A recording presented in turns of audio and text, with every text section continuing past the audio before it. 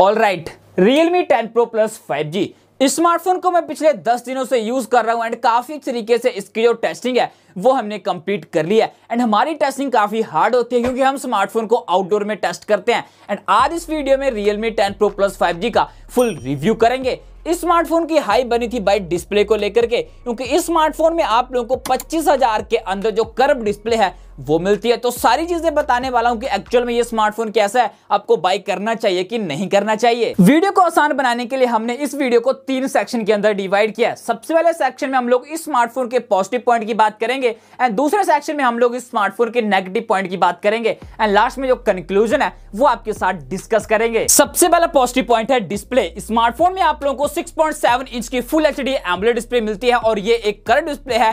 तो डिस्प्ले को मैंने इंडोर आउटडोर में टेस्ट किया है। इंडोर में सेवन फिफ्टी नीट्स तक इसकी फुल ब्राइटनेस है एंड आउटडोर में भी डिस्प्ले काफ़ी अच्छे तरीके से विजुअल है। बाकी ये कोई सैमसंग की फ्लैगशिप डिस्प्ले नहीं है। ये कोई रियलमी ने चाइनीज़ मैन्युफैक्चर इसको बाई किया बट फिर भी डिस्प्ले एक्सपीरियंस काफ़ी कमाल का है। वाइड वन अर्बन का सपोर्ट मिल जाएगा। अमेजोन नेटफ्लिक्स कॉन्टेंट आप लोग एचडी में स्ट्रीम कर सकते हो। लेकिन यूट्यूब के ऊपर फोर में वीडियो देखने पर आपकी जो वीडियो वो ग्लिच करती है। लेकिन यूट्यूब में आपका टेन में भी काम चल जाएगा। बाकी आप लोगों को डिस्प्ले कलर्स काफ़ी बढ़िया देखने को मिलते हैं। एमलेट डिस्प्ले तो डीप ब्लैक कलर मिलेंगे एंड डिस्प्ले की ब्राइटनेस सैचुरेशन एंड जो कॉन्ट्रास्ट है, वो भी रियलमी ने काफ़ी अच्छे तरीके से एडजस्ट किया बाकी डिस्प्ले के चिन बैजल्स भी आपको काफ़ी छोटे मिलते हैं एंड रियलमी ने इसको एस अल्ट्रा से भी कंपेयर किया था। तो एस अल्ट्रा से भी छोटे जो बैजल्स हैं, इस डिस्प्ले के आपको देखने को मिलेंगे। तो display experience and viewing experience आपको काफ़ी कमाल का मिलेगा। लेकिन जहाँ से डिस्प्ले कर्व हुई है, वहाँ पर साइड से देखने पर आप लोगों को हल्की सी ब्लैक स्टोन मिलेगी। लेकिन सामने से देखने पर ऐसा कोई इशू देखने को नहीं मिलता। ये कोई मेजर प्रॉब्लम नहीं है। रियलमी इसको सॉफ्टवेयर अपडेट से फिक्स कर सकता है। और रियलमी क्लेम करता है कि डिस्प्ले फ्लिंकरिंग नहीं करती, लेकिन मैंने इसकी आउटडोर टेस्टिंग की एंड रिज़ल्ट आपके सामने है। आपको थोड़ा बहुत जो फ्लिंकरिंग इशू है आउटडोर में, वो इस डिस्प्ले के अंदर देखने को मिलता है। बाकी डिस्प्ले काफ़ी कमाल की है एंड जिसको लेकर के हाइप बनी थी डिस्प्ले को लेकर के तो display Realme ten Pro Plus five की आपको काफ़ी बढ़िया मिलती है। नेक्स्ट पॉजिटिव पॉइंट से मैं छोटे छोटे पॉइंट्स ऐड कर रहा हूँ। सबसे पहला फिंगरप्रिंट फिंगरप्रिंट आपको स्मार्टफ़ोन में इन डिस्प्ले मिलता है एंड इसकी स्पीड भी काफ़ी सही है एंड एक्यूरेसी भी आपको काफ़ी बढ़िया मिलती है। सिंगल टैप के ऊपर अनलॉक हो जाएगा and double tap to wake up double tap to unlock का जो फीचर है, वो भी आपको स्मार्टफ़ोन में मिलता है। सेकंड है भाई स्मार्टफ़ोन की वाइब्रेशन मोटर वाइब्रेशन मोटर भी रियलमी ने काफ़ी कमाल की स्मार्टफ़ोन के अंदर यूज़ किया है एंड पूरे यूआई के अंदर रियलमी ने जो हैप्टिक फीडबैक है, उसको इंप्लीमेंट किया टच करने पर कॉल एंड करने पर या टाइपिंग करने पर जो टक टक का फील है, वो आपका आता है। तो वाइब्रेशन मोटर भी आपको स्मार्टफ़ोन की काफ़ी कमाल की मिलेगी। एंड थर्ड पॉजिटिव पॉइंट है भाई, इसके stereo speaker dual stereo speaker देखने को मिलेंगे एंड इनकी क्वालिटी भी आपको काफ़ी बढ़िया मिलती है।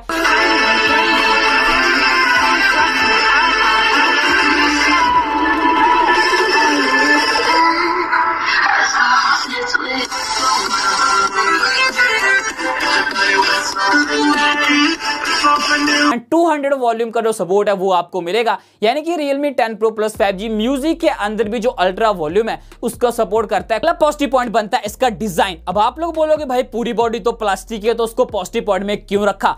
प्लास्टिक बॉडी होने की वजह से सबसे पहले आपको इसका वेट कम मिलेगा। 173 ग्राम तक इसका वेट है एंड सिंगल हैंड से आप लोग इसको आसानी से यूज़ कर सकते हो। एक हाथ से यूज़ करने पर कोई भी इशू आपको नहीं मिलेगा। बाकी आप लोगों को पूरी बिल्ड प्लास्टिक की मिलेगी एंड जो साइड की फ्रेम है, ये भी आपको प्लास्टिक की मिलती है। एंड ये आपको तीन कलर्स के अंदर अवेलेबल मिलेगा। Hyper space blue and black तो मैं आपको यही सुजेस्ट करूँगा कि आप लोग हाइपर स्पेस को इग्नोर करके बाकी जो दो कलर्स हैं ब्लू एंड ब्लैक उनको चूज़ करें। क्योंकि हाइपर स्पेस आप लोगों को ग्लॉसी बैक के साथ मिलता है तो टच करने पर आपको फिंगरप्रिंट स्मजेस के ऊपर देखेंगे स्क्रैचेस देखने को मिलते हैं, लेकिन ब्लू एंड ब्लैक आप लोगों को मैटी फिनिश के साथ देखने को मिलते हैं। इनके ऊपर ऐसा कोई भी इशू नहीं है। एंड लाइट वेट होने की वजह से ही मैंने इसको पॉजिटिव पॉइंट में रखा। नेक्स्ट पॉजिटिव पॉइंट बनता है सॉफ्टवेयर जी हाँ गाइस अब आप लोग बोलोगे, भाई सॉफ्टवेयर की वजह से तो ये स्मार्टफ़ोन क्रिटिसाइज हुआ था। अब इसको पॉजिटिव पॉइंट में क्यों रखा? तो out of the box Realme UI four point zero Android thirteen है। एंड अगर आप लोग 10-15 मिनट आराम से बैठ कर इतनी भी अनवांटेड एप्लीकेशन बुटवेयर एंड जो आपके एड्स है, इन सबको बंद कर दोगे मैनुअली तो आपको क्लीन यूआई का जो एक्सपीरियंस है, वो मिलेगा।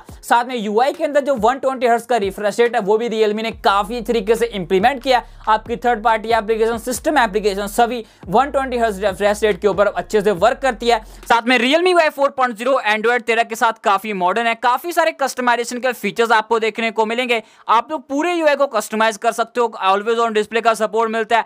आइकन को आप लोग कस्टमाइज कर सकते हो फ़ोन को कस्टमाइज कर सकते हो। ऊपर battery style and battery icon को कस्टमाइज करने के फीचर्स भी आपको रियलमी यू आई में मिलेंगे। साथ में आपको गूगल डायलर देखने को मिलता है, लेकिन आप लोग रिप्लेस करके रियलमी का डायलर यूज़ कर सकते हो। मैंने किया एंड इसके रिगार्डिंग मैंने डेडिकेटेड वीडियो बना रखा है, वो आप लोग चेकआउट कर लेना। उस वीडियो का लिंक नीचे डिस्क्रिप्शन में साथ में यूट्यूब इंस्टाग्राम ट्विटर तीनों एप्लीकेशन प्रॉपर तरीके से वन ट्वेंटी के ऊपर वर्क भी करेंगी। यूआई के अंदर ऐसा कोई मेजर लैग भी आपको देखने को नहीं मिलता। काफ़ी स्मूथ एक्सपीरियंस है। एंड मैंने Realme ten Pro Plus five का स्पीड टेस्ट भी किया था रियलमी जी के साथ। इसमें आप लोगों को इसकी स्पीड के बारे में पता चल जाएगा। आप लोग जाकर के चेकआउट कर लेना। बाकी अगर आप लोग कोई हैवी एप्लीकेशन ओपन कर दे तो हल्का सा जीटीनेस है, वो आपको यूआई के अंदर मिलेगा। लेकिन ऐसी कोई मेजर दिक्कत नहीं है। इनको रियलमी सॉफ्टवेयर अपडेट से फिक्स कर सकता है। बाकी यही थे इसके पॉजिटिव पॉइंट अब इसके नेगेटिव पॉइंट्स की बात करते हैं। सबसे पहला नेगेटिव पॉइंट बनता है नेटवर्क स्टेबिलिटी स्मार्टफ़ोन में आपको 5G का सपोर्ट तो मिलता है। 5G के साथ साथ 4G एंड 4G प्लस भी मिलते हैं। लेकिन हम लोग 5G को साइड करते हैं and 4G and 4G plus की बात करें। 4G के अंदर नेटवर्क काफ़ी अच्छे हैं, लेकिन 4G प्लस में आपको जो नेटवर्क स्टेबिलिटी है, वो बिल्कुल भी अच्छी देखने को नहीं मिलती। इंडोर के अंदर तो मुझे 4G प्लस के नेटवर्क शो ही नहीं कर रहा था, Realme 10 Pro Plus 5G and same मैंने जियो की सिम Realme GT2 के अंदर लगाई थी, उसी रूम में, उसी एरिया में, लेकिन मुझे वहाँ पर Realme GT2 में 4G प्लस का नेटवर्क मिल रहा था, जबकि Realme 10 Pro प्लस में नहीं मिल रहा था। लेकिन आउटडोर में ऐसी कोई दिक्कत मुझे मेजर नहीं मिली, लेकिन फिर भी Realme को नेटवर्क के ऊपर काम करने की ज़रूरत है। ये कोई मेजर प्रॉब्लम नहीं है सॉफ्टवेयर अपडेट से Realme इसको फिक्स कर सकता है। नेक्स्ट नेगेटिव पॉइंट है इसका प्रोसेसर इसमें आपको MediaTek Dimensity 1080 का प्रोसेसर मिलता है, जो एक एवरेज एंड बैलेंस का प्रोसेसर है। एंड अगर आप लोग कोई भी हैवी टास्क करोगे तो ये प्रोसेसर कमज़ोर पड़ जाता है। यूआई के अंदर आपको लैग एंड जीटीनेस महसूस होता है। बाकी पाँच लाख के आसपास इसके अंशु स्कोर है। यूएफएस 2.2 की स्टोरेज मिलती है तो रीड एंड राइट स्पीड भी आपको एवरेज सी मिलेगी। लेकिन इस प्रोसेसर का जो छोटा भाई था मीडिया का डायमेसिटी 920 वो आप लोगों को काफ़ी स्टेबल एंड उसके अंदर परफॉर्मेंस भी आप लोगों को काफ़ी बढ़िया मिलती थी। नेगेटिव पॉइंट भी आप लोगों को प्रोसेसर की वजह से मिलता है। वो रहा गेमिंग में। इसमें आप लोग एवरेज गेम प्ले कर सकते हो। स्मूथ सेटिंग्स के ऊपर आप लोगों को 55 टू 60 एपीएस का सपोर्ट मिल जाता है। एंड हाईएस्ट सेटिंग्स के ऊपर आप लोगों को 30 टू 35 एपीएस का सपोर्ट मिलेगा। एंड पबजी एंड बीजेएमआई दोनों के अंदर आपको जो ग्राफिक सेटिंग्स है, बिल्कुल सेम देखने को मिलते हैं। जायरो का सपोर्ट भी एंड जायरो प्रॉपर तरीके से वर्किंग है कोई भी डिले आपको जायरो में देखने को नहीं मिलता। लेकिन अगर आप लोग स्क्रीन रिकॉर्डिंग करोगे तो आपको जो लैग इशू है, वो देखने को मिलेगा गेमिंग में। साथ में जो बैटरी ड्रेनिंग का इशू है, वो भी आप लोगों को प्रोसेसर की वजह से देखने को मिलेगा। अगर रियलमी ने अच्छे से इस प्रोसेसर को ऑप्टिमाइज किया होता तो आपको गेम के अंदर लैग भी देखने को नहीं मिलना था एंड जो बैटरी ड्रेनिंग का इशू है, वो भी आपको गेमिंग में नहीं होना था।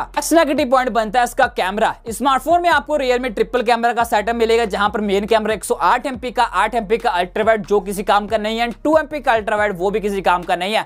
फ्रंट में आपको 16 एमपी की सेल्फी मिलेगी, और मैंने Realme 10 Pro Plus 5G का कैमरा टेस्ट कैमरा रिव्यू किया उस वीडियो को आप लोग जाकर के वॉच कर लें, जिससे आप लोगों को उसके camera quality clarity video quality clarity के बारे में पता चल जाएगा। उस वीडियो का लिंक नीचे डिस्क्रिप्शन में है। बाकी आप लोगों को वीडियो मोड के अंदर 4K का सपोर्ट मिल जाएगा एंड आप लोगों को जो क्वालिटी है, वो भी एवरेज ही देखने को मिलेंगी। तो कैमरा सेक्शन के अंदर भी कोई इतना रियली मेजर अपग्रेड आपको देखने को नहीं मिलता। एंड अगर आप लोग इसको Realme 9 Pro Plus 5G camera से कंपेयर करोगे तो सबसे बड़ा डाउनग्रेड आपको Realme 10 Pro Plus 5G का इसका कैमरा ही मिलेगा। फाइनली आपको ये फ़ोन बाई करना चाहिए, इसको इग्नोर करना चाहिए। क्लियर कट मैंने इसके positive points and negative points अपने स्टाइल में आपके साथ शेयर कर दिए। अब अगर आपको फ्री पच्चीस के अंदर एक फ़ोन चाहिए एंड आप सोच रहे हो क्यों ना Realme ten Pro Plus five को ले लें तो ये चीज़ें ध्यान में रखना। पहली बात, ये आपको ना ही गेमिंग फ़ोन देखने को मिलता, ना ही आप लोगों को कैमरा फ़ोन देखने को मिलेगा। एंड इन दोनों चीज़ों को साइड में रख करके आपको फ़ोन चाहिए मल्टीमीडिया मूवीज़ वॉच करने के लिए नॉर्मल टास्क के लिए तो आप लोग definitely Realme 10 Pro Plus 5G को बाई कर सकते हो।